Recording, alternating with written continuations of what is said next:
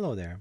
In this video, I want to go over some steps that I'm taking to enhance image or photo that I took before inside the Stable Diffusion. So right here, it's example of Barocco with some Star Wars theme. It was kind of very interesting effect. And I was thinking, what about if we just start playing with some details? I don't know what we're going to do in this case, just maybe enhance, maybe border, maybe emblem. So we'll see how it's come up. For this one, we're going to use Stable Diffusion local installations with automatic 1111 distribution. So for this, I'm going to image to image. I'm going to take the image that was created. Okay, there's our image. We go ahead upload it here. And let's start masking. For the for this, we'll go use actually in painting tool. Okay, and we need to figure out what to do. You know, maybe right here just put something fun. For this, I want to be sure to test its work properly. So I'm going to call Ewok, maybe baby Ewok. You know, one of those furry creatures. Okay, baby Ewok. And one thing I want to be sure I used about same size. For this, we'll go to adjust our height to match image. And our height is Okay, 688. So we'll go back here. We'll go type height 688 and we'll go let's go samples to 30 just a little bit higher. We have a scale 6.5 just a little bit lower so we keep it closer to text. And let's go click generate. Okay it's create some i think that will work. Um, one thing i would recommend for you to use the right model uh, like if you used anime and it's trained only on anime art, it's one before the realistic. So you want to do photorealistic. And you know we can actually do this photorealistic. Furry baby Ewoks. Let's try that one. We can just maybe add sitting on the floor. I'm not sure if that will work. We'll see it. Actually, this work very well. So what I'm going to do is click actually this icon to reuse this seed so we'll see it. We can also always use the random and play around if you prefer, but what is this? We're going to use in here the seed. So like on the bottom, I'm going to use it brush and I'm going brush right the elements where I want to place it. So I'm going to just brush around here. Okay, next we'll go back. Let's go copy what we have it and we'll try one without seed and with a seed. One thing, we'll be sure it's a sampling 30 6.5 so we'll go back here. Let's paste our text string okay? We'll have also sampling 30 okay? And we'll have it 6.5 the denoise string we can play a little bit more with this in a second.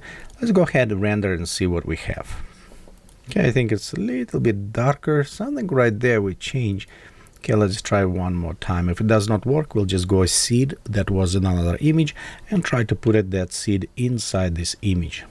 Yeah, and I think it's a little bit too dark. So let's go try this.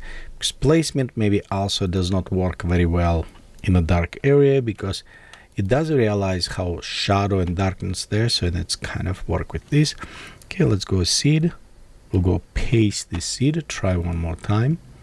And it's definitely better because we can see something but not necessarily Ewok and in some cases it's happened because we in painting and it's maybe a little bit too big for this which is we're going to modify a couple things settings for us here. So we still have it width and height. Same we want denoise string.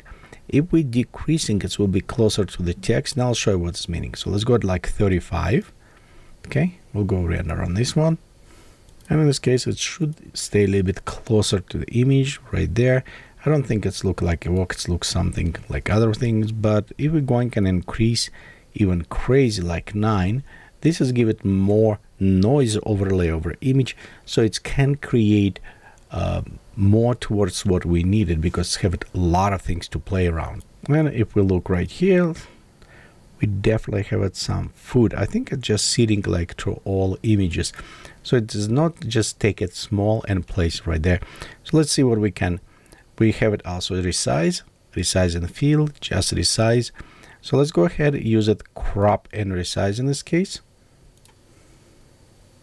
Okay, and if we look, you see right here the food sticking. And the reason is why this is sticking there if we go back text to image it will take all of this and try overlay over the size so what we need to do? It says only mask area. But because we put it only in mask area we'll have another problem come up right now. Let's render. And you'll notice it's how we'll start clipping. Because we need blend a little bit better. So right here is our image going. Okay and you can see it's actually place it right there which kind of interesting. But again it's hiding so we need blend a little bit better for this let's go ahead take this down to 6.7 around this area. And we want to increase blur area maybe about 20 and masking padding it will just pop up this as well. So let's go ahead. This way is allowed a little bit better. And right there you can see it's kind of hiding behind. So it's blend a little bit better. Of course because hiding behind we can always take it. And if we want up front let's increase a little bit in size. We can just take and right there was a dress we'll just plant right there. There you go. Okay let's go ahead generate again. Mm -hmm. and there is a look much better. So it's still right there a little bit blending I think I need to put it but it is definitely look a little bit better on the blending in this case. So let's go ahead. Maybe add a little bit more in the corner. Okay let's go ahead increase also just a little bit more on the padding. So it just covered us a little bit blur this edge a little bit better in the blending. And sometimes actually I like to go higher value see how it's work and go back. We could also play a little bit more with the CFG scale and the noise shrink this is will again it's how much noise will overlay and closer will be so in this case, if it's override too much of information behind it will decrease the noise. Be sure the original image it will be there. Okay, I think right there, that one has come up even better. Again, right here, look at this. It's kind of cutting off a little bit there. And let's go reduce this one, keep it more image inside so it does not go out of our area. And you can see it's a little bit better now. So we don't cut the head, its ears. Okay, let's go now take this down to maybe about what, 5, 5. And we also take masking a little bit even lower. So I don't like when the ears was cut off. And that's what is inside. It's how much will increase this way or down. And mask blur, it's around help us bending a little bit better. And there you go, we have it a little bit more feed because probably I took too much down on the noise. So it's not enough information to process and there's let's look right now.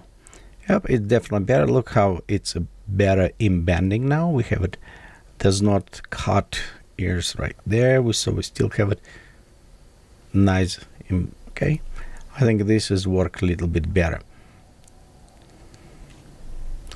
Okay so when you satisfy says okay in this case I think it's look good. Let's go click send to in painting because if I try to paint some other element that will come up and says, hey, you know what, it does not work properly because we lose some masking. So now we can mask again different. And right here, for example, we'll just go right on her chest, right there in the middle, and going with the embroidery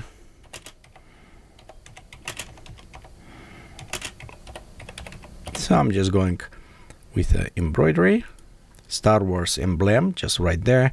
And we want to actually keep it same original. We want to be sure it's only in a mask. So it's right here not whole picture just area. We leave it about same size. I think this should work well. We may need rework some on the denoise. We'll see on this case.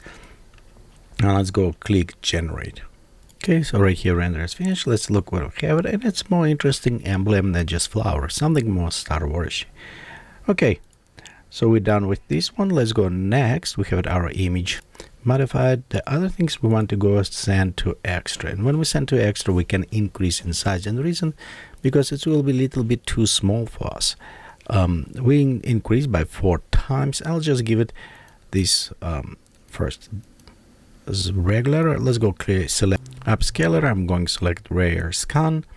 Um, we'll just leave it everything by default and let's go click generate. What this actually does, it will take image and creating was upscale version of this.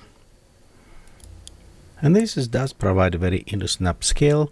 Personally, I do like to use the actual gigapixel. It does create a bit more AI-based upscaling, which is work very well. The one thing what we also need to do if you're going inside your directory and whatever when you created output image to image, you find all your other images that we created is inside here. So what I'm going to do is take one image with a bear, with Ewok. Okay, right here is our Ewok. It's what we created before.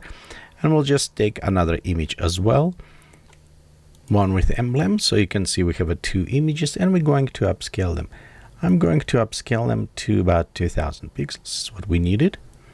Okay, and you notice right here is actually these original 2000 by 2000. So in painting actually did a very good job for us. And this is just in case if you need higher resolution of the image or some other quality is lost. And next we're going inside the Photoshop. And in Photoshop I'm going to take these two images, one with Ewok and another ones. And I'll just go drag and drop on the top so we can preview a little bit better. On the first, you'll notice right here, we don't have it Ewok, and it's kind of mess up here, but we have it our emblem. And another ones, we do have it our Ewok here. So I'm going to just take one with Ewok, drag, and placed on top of this image. Okay, right there. We'll take another ones with emblem, drag, and drop, put it on top. Okay, let's hide one and work with first. When it's created, a hold Alt or Option, click on a mask to hide. We'll take brush be so the brush is soft round, and we'll just set opacity 10%. With a white color, we can start brushing in our Ewok. The reason why I'm doing this way, it's can actually I can match a little bit better where I want to place it. So right here we put it our Ewok. Okay. Next we can do same with the emblem. Now we'll hold, hold on Alt Option hide, get closer with the rows, and we're just going to let's go with 30% faster, and we'll just go to change this emblem right there on the chest. So we'll just go paint in in here. There you go. Okay, we can apply a little bit better play around. Again, this was just, you remember, I think this area is where we mask did not work. But again, this as example, it's actually work very, I like how it's come up, come up very nicely. Um, it work a little bit too bright. Um, I do find out when you start, it's somewhat compositing in Photoshop. But if you do this, 50% gray, just fill it, the layer, switch the soft light, and we'll just add custom shadow. So going right there, set this one to soft light and start, okay, 10%. And we'll just a little bit add shadows to hide it. There you go. So a little bit more blended our Ewok. And there you go we create our image in stable diffusion. We replace some elements on the dress. We also add additional character. And overall i think this is just add a little bit more immersive to the star wars effect but still keep it all as theme and closer to the like uh, baroque or rococo style in this case. Thank you for watching this video. If you find useful or anything, please subscribe, share, help me up keep channel, and I greatly appreciate all your support.